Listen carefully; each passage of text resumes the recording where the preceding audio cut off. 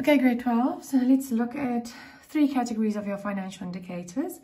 It's a heading that says, it's just after task 4.2, it says financial indicators relevant to companies. And now you can see I've got a picture here on liquidity. He's asking the boss, my body is 60% water. How could I fail a liquidity test? Okay, so what is the point of this?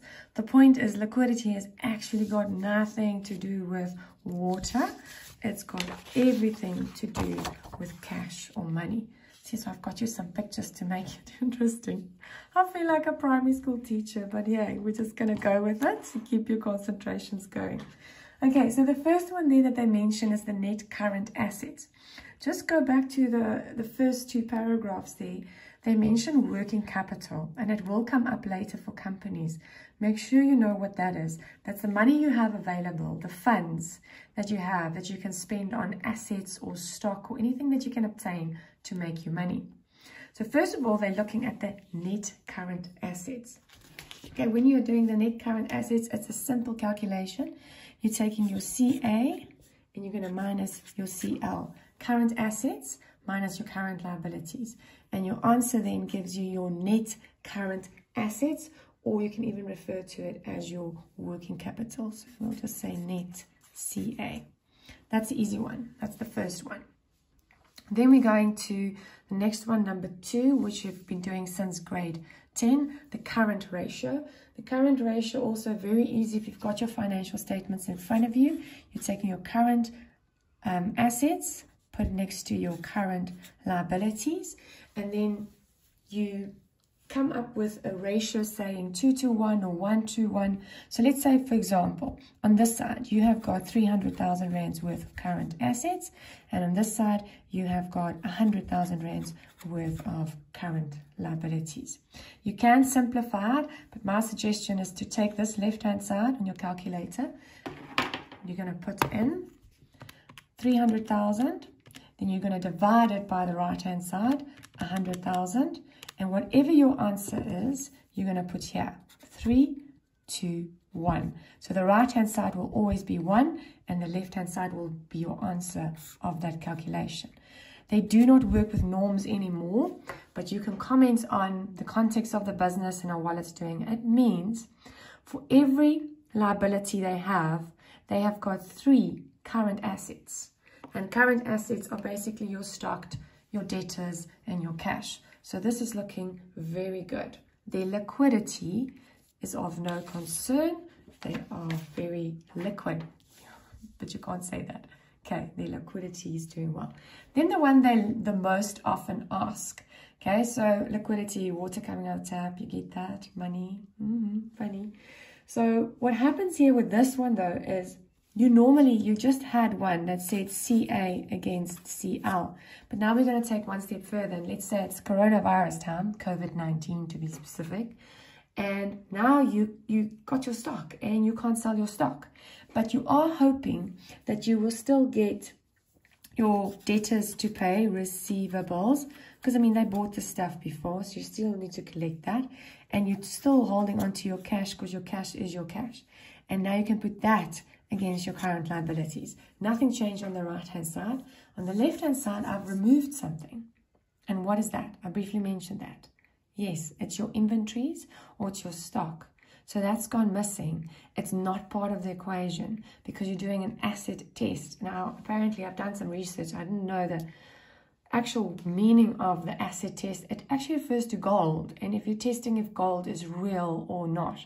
In this instance, you are testing if your liquidity is real or not. So you'll be worried or not. Another way to put it is to say the CA, I'm going to say all, you take the CA minus inventory. So you take out all your stock and you put that against your current liabilities. So at the end of the day, you have got X amount of debtors and cash available in comparison with the current liabilities that you owe. So this one is much easier to change into cash and to pay these people. They say stock is the hardest thing to get rid of and to sell.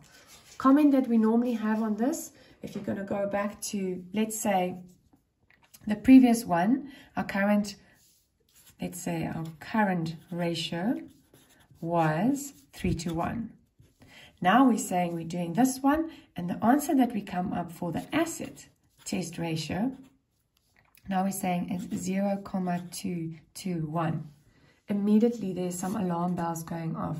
Once you removed your stock, you don't have much assets left. So that means a lot of your current assets are tied in stock and that's not good necessarily.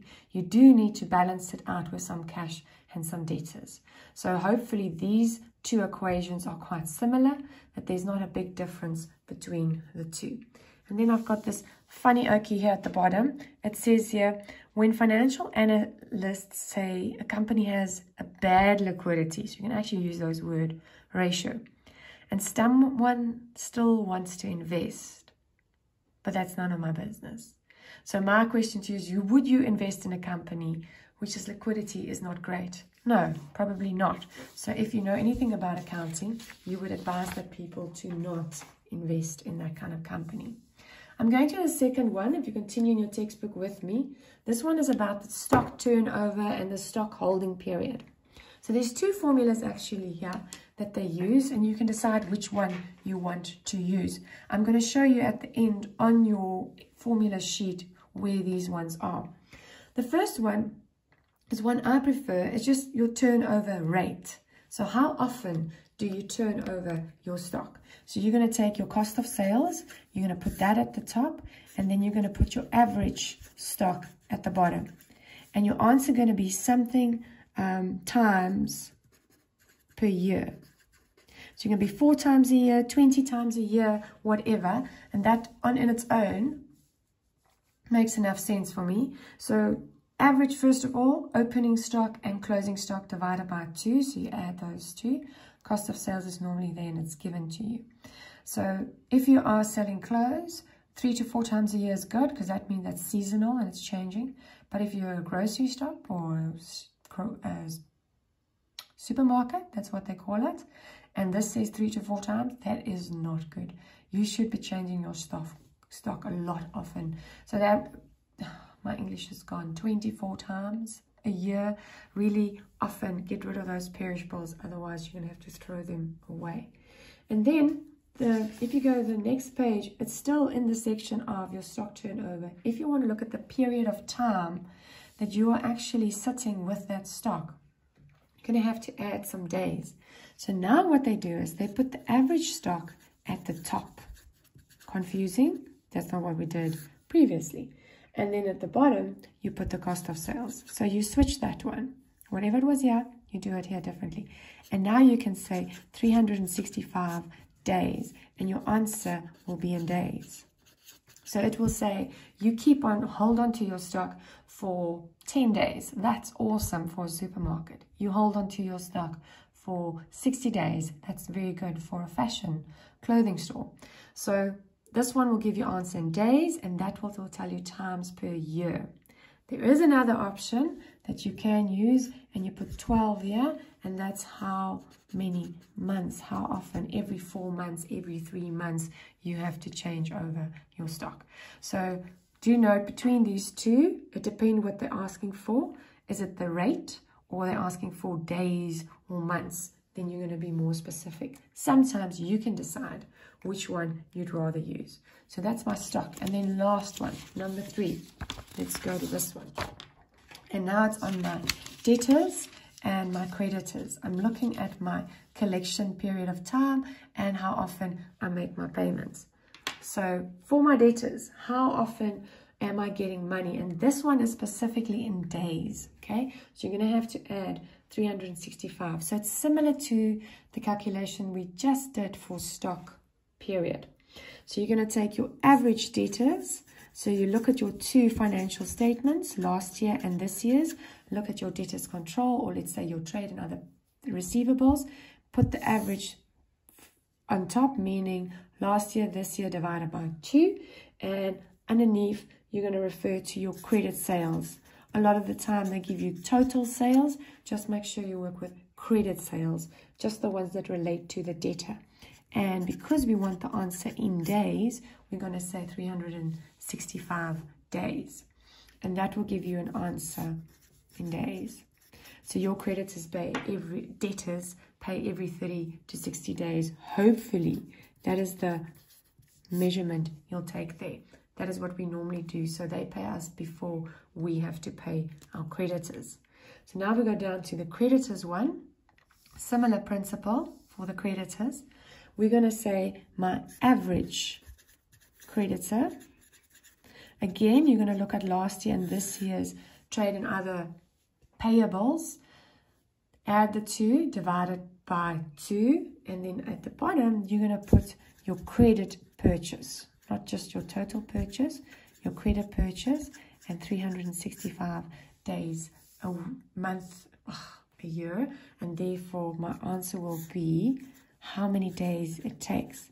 And in this instance, you are hoping for 60 and 90 days. Do note the difference between those two. The top one is because you want your debtors to pay earlier so you can have the cash. And the bottom one is you wait a bit and then you pay back your suppliers. And that is the calculations. And then if we go here, just to show you, this is the sheet you get at the end of the year. So it's just typed out differently, but they do mix them up. I just want to see you show you how it's spaced out. So for example, these ones with the purple was our first number one. It referred to my current assets and my working capital. Then we went to our inventories, and that's the pink ones. There's one and there's one. This one is the rate, and that one is the period. So you're looking at days. Similar, both of them refer to my stock.